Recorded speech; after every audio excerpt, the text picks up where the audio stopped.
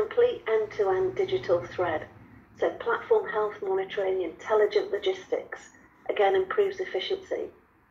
We're deploying machine learning to, to, to run after action reviews so that we can link failures to root cause through unsupervised learning.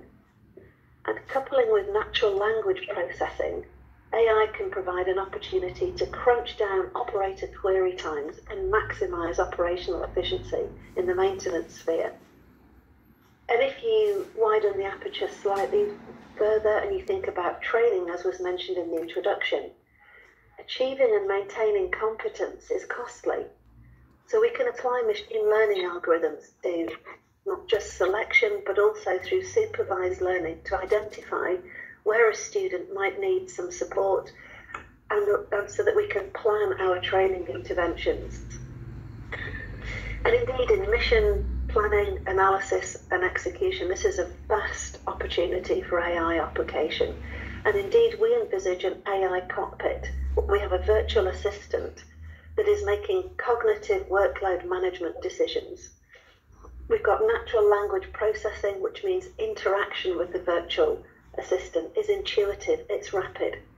It uses control cues from natural voice, but also using sentiment analysis with things like eye tracking and physiological monitoring. It can classify pilot state, pilot stress level, so it can adjust the degree of machine processing versus human processing at any one time. A key part of that human machine teaming um, regime that was talked about in the intros.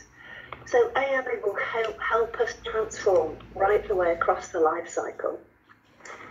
If we think about the wider battle space, we've got a really diverse landscape, as we've all alluded to, digital, cyber-enabled connected assets, in which every domain from space to underwater, across cyber and information, is a potential frontier of conflict and novel effects such as swarms, hypersonic systems, complex directed energy systems, and countermeasures proliferate.